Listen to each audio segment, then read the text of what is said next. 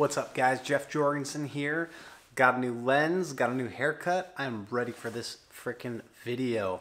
For those of you out, there who don't know how to swim or uncomfortable swimming, especially those who have aquaphobia, this video is gonna be for you.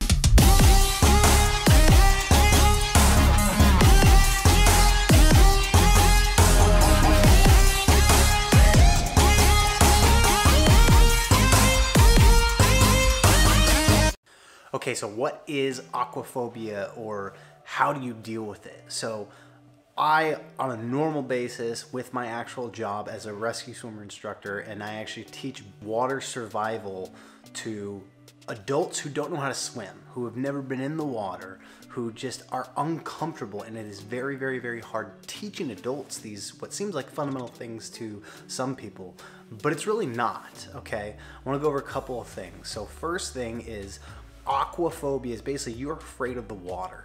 Just in general, it scares you to death, especially deep water. Deep water probably especially frightens you. Now, how do you get over that?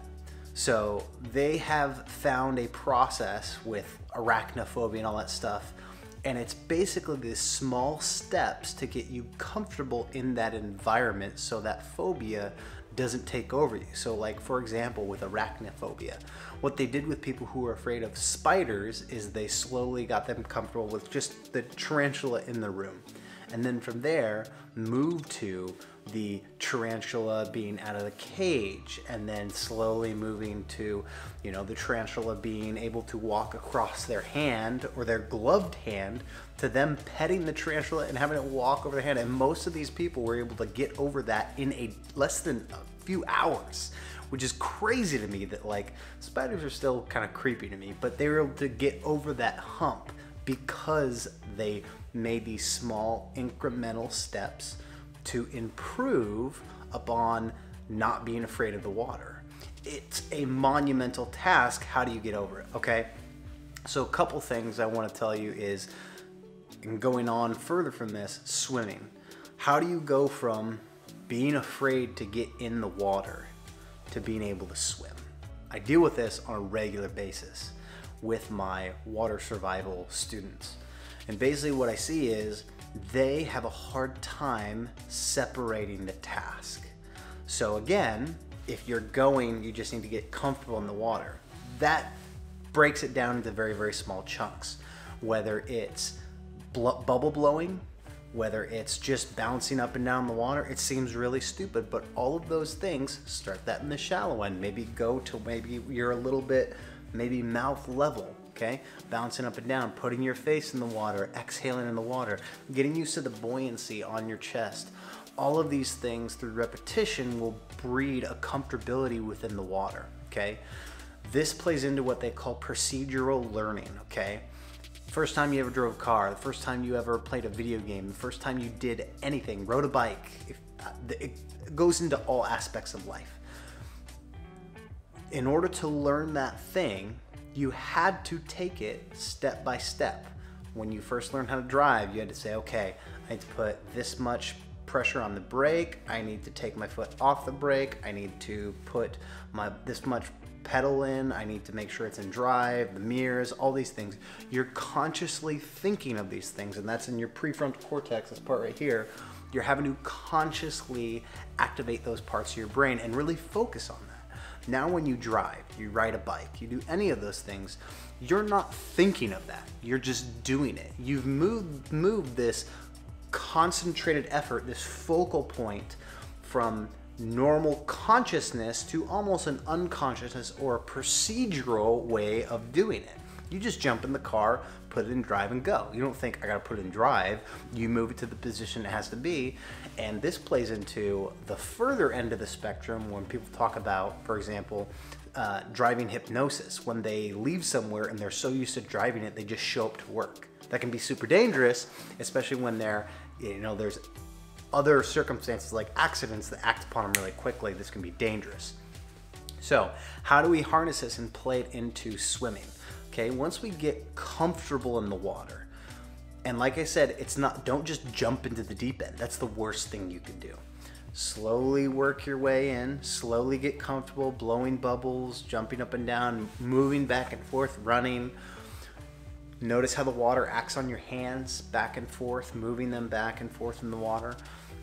Get comfortable in the water. Once you're comfortable in the water, floats, work on floats, work on how your body actually hits buoyancy in the water. How when you fill your lungs up with air, the moment you fill your lungs up with air, you have a little bit more buoyancy. And when you exhale that, you'll start to sink down. Get to know how that works on your body. Then from there, you break down the different strokes into their fundamental pieces.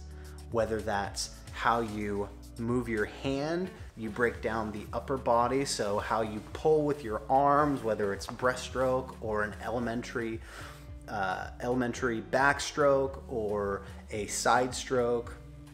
Uh, butterfly's a little bit more advanced, don't just jump into that. But you need to break these movements down piece by piece. And there's tools you can use that I'll link in the description below, such as a pull buoy, a P U L L, and I just spelt it how I look at it. So what would that be? P U L L, a pull buoy. So you're pulling it through the water. So you put that between your legs, it immobilizes your feet, and it forces you to focus on how your arms are actually working in the water. The other thing I would highly recommend is a kickboard. Pull buoy, kickboard. Kickboard, it allows you to hold on to the end of the board in different grasps, and this board floats in the water just like the pull buoy, and it allows you to focus on your kick, whether that's a frog kick, a scissor kick, or a flutter kick. All of these things, it makes you focus on what you're doing with your legs, what you're doing with your arms. Then to build strength, as you get the technique down, you really want to focus on that technique first, okay? Once the technique is down, you work on strength. That's when you get into fins and hand paddles, okay? You don't want to jump into fins and hand paddles if your technique is wrong. If your technique is wrong when it comes to swimming, using hand paddles or swim fins will exacerbate this and exaggerate your your obviously weak points. So work on technique first, then go into actually building that strength, okay? So the hand paddles will make it harder to actually swim through the water, which will build those muscles and that muscle memory with pulling. And their fins will make your legs stronger with what you're doing. Just make sure you're not using your fins for frog kick or scissor kick. It really doesn't work that well.